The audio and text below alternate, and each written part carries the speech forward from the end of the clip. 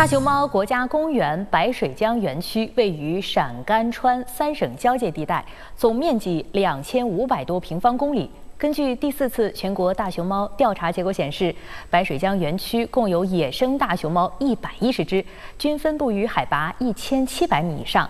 保护区的工作人员要定期对大熊猫野外种群动态、园区内生态环境和生物多样性进行科学监测，为大熊猫的保护和管理提供科学依据。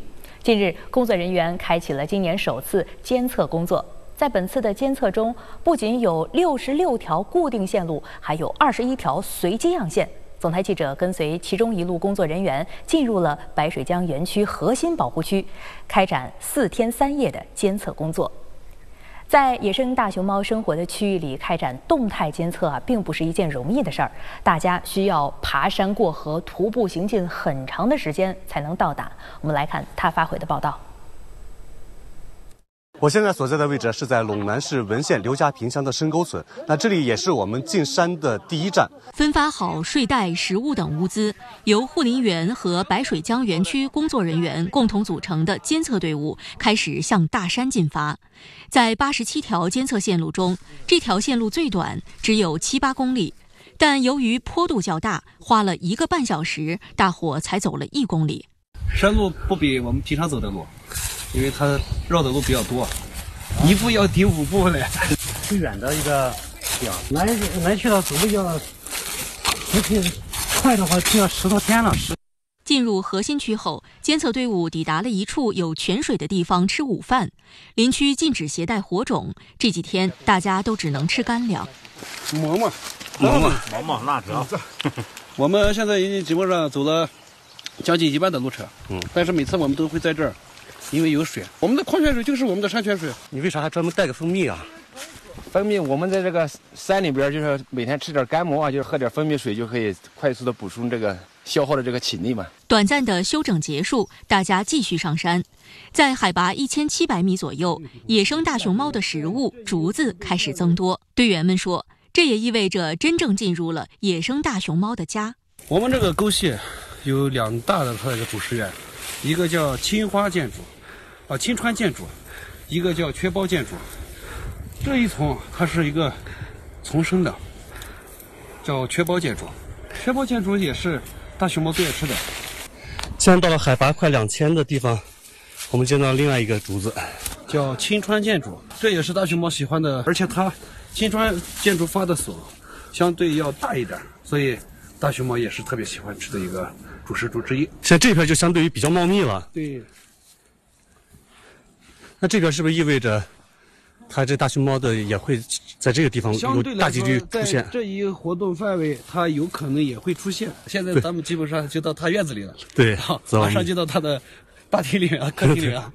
赵英鹤告诉记者，之后他们还要去测量野生大熊猫主食竹的平均高度、分布经纬度等，然后做成表格，方便做研究分析，并对竹鼠对竹子的影响进行实地查看。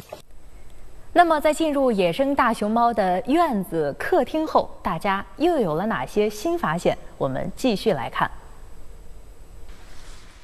当队伍继续前进了一个小时后，走在最前面的队员们有了新发现。现在走到了海拔两千二百多的这样一个高度，现在前方传来消息说发现了大熊猫的粪便，我们现在去看一看。进山第一天，哇！熊猫粪便，这是个成年的，成年的熊猫。为啥从这个粪便上能判断出来它成没成年？小粪便，我们分为个，呃，大粪便和小粪便。它这个是相对是成年来的，而且你看它这个竹子啊，嗯，它这个茎是相对要纤维要粗一点，所以算是一般是成年熊猫来吃的，它的一个吃的一个竹子。然后它应该是去到从这儿下来，然后到这儿水源点是喝水来的。因为周边这我看了一下，它没有这个对这个竹子有啃食的一个状态，都没有破损，所以说它应该是个过路的熊猫。我们的熊猫应该还在里面，它不可能再往外外围走了。外围走相对来说竹子要少一点，一般都是这都是边缘，所以说咱们今天说明熊猫到这里来，说明它的活动范围还是在不断的往外扩展，在增强。这是对我们来说是一个很好的信号。除了大熊猫的粪便之外，大家又发现了大熊猫在这里活动的另一个证据。抓痕有抓痕，你看它这一块有苔藓，其就这一块没有。它一般都是屁股抢掉了，跳上去，然后用它的肛周线在这蹭的。你为什么要闻一下这个？像这种情况呢，像那个九七的那个。熊猫它在它的肛嘴腺要是分泌一些分泌物啊在这儿，吸引异性来。随后，队员们再次看到了两个不同年龄段的大熊猫的粪便，这让大家感觉更加惊喜。这个粪便应该要陈旧一点。嗯它已经它是已经是相对要分化一点。嗯，这是它的一个竹竿的部分，竹茎。这个刚跟我们看的是相对纤维要更粗一点，呃，咬结相对更要长一点。你看这个咬结可能有个三厘米左右，所以这更判断我们刚才的这个熊猫不是单独的一只，不是单独的一只。嗯，我们刚才前面看的那两头粪便的熊猫是相对年龄，这儿还有这个年龄中等的。哎，这就哎，充分说明了它们是两只熊猫。两只熊猫，你看，我们又发现了两个坨青团，摸一下。对，这就是，这是哦，就这就像类似于竹竿那样子。对对，就是你看，这个竹竿，它吃的是这个竹叶，这个相对于就吃的竹叶，还有这个小的这这些这些这些竹叶，你看，咱们拿起来对比一下，你看，类似就是这些东西，但是你看它的这个。筋啊，就是吃的这个也可以吃的这样的，所以它的我们就说的咬结，咬结的长度来判断它的一个年龄的大小。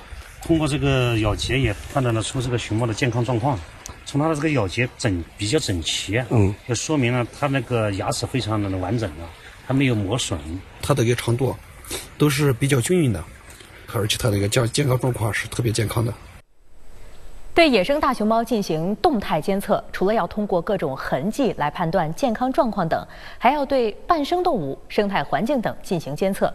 而这些工作又是如何开展的？监测队伍能否找到野生大熊猫？我们继续跟随记者往山里走。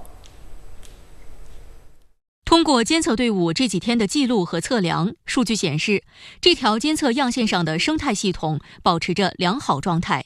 干净的水源、漫山遍野的竹林，为野生大熊猫提供了优质的生活环境。但是比较遗憾的是，因为野生大熊猫警觉性很高，没能亲眼见到它们的身影。在这条样线上，一共布设了两台红外相机，储存卡是去年十一月底更换的。接近五个月的时间里，拍到了哪些野生动物？里面是否有野生大熊猫？取红外相机数据的过程就好像开盲盒，让大家非常期待。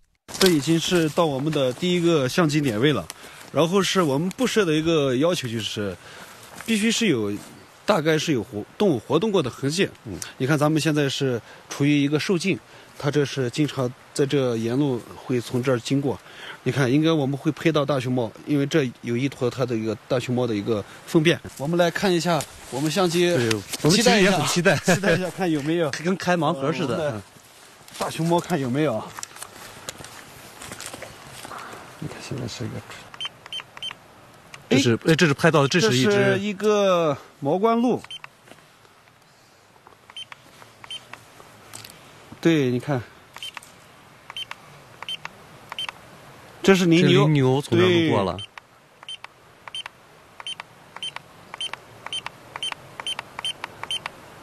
这也是个毛关路，哎，野猪，哎，大熊猫，大熊猫，大熊猫，你看有有有有有有，对，是吧？这视频，嗯，这是一段视频。对，你看，应该还这应该是在冬季的时候。对，这是在冬季的时候，它过冬的时候拍摄到的一个画面。嗯，哎，大熊猫，这个漂亮，是吧？你看，对，头圆圆的。它的身上全是血，看一下，哎，漂亮的很。对，嗯，咱们今天是确实来的，来的值了，能拍得到，啊，不容易。呃，实体是见的特别少，但是咱们每一次啊，能看到这个红外相机里面大熊猫，我们都特别激动，感觉这一趟，你看辛辛苦苦上来来的确实值了。大山里的天气说变就变，刚忙完红外相机数据采集工作，一场雷雨夹杂着冰雹突然袭来。十多分钟后，趁着雨势稍微变小，大家立即冒雨赶回营地，顾不上换湿衣服，赵英鹤又打开电脑，把储存卡里的数据全部导入进去。哦，这就是那个 我们在山上看见满脸的雪呀！看一下，你看满脸的雪。这个熊猫大。嗯，好，听说。你看，哎呀，这是一个成体，应该是。这是一个成体。嗯，很大的。啊，根据它这个体态来讲呢，还是一个身体状况是比较健康的。野生动物的它的一个活动痕迹范围啊，在不断的向外延伸，说明我们的人为干扰破坏确实是不断的在减少，然后呢，植被生态也在不断的在变好。我们的价值就要体现在这个，我们搞好这里的森林资源保护。大熊物种的保护，还有这里的山山水水，看到这些呢，我感觉到我们也很值得了，也感觉到我们也有价值了。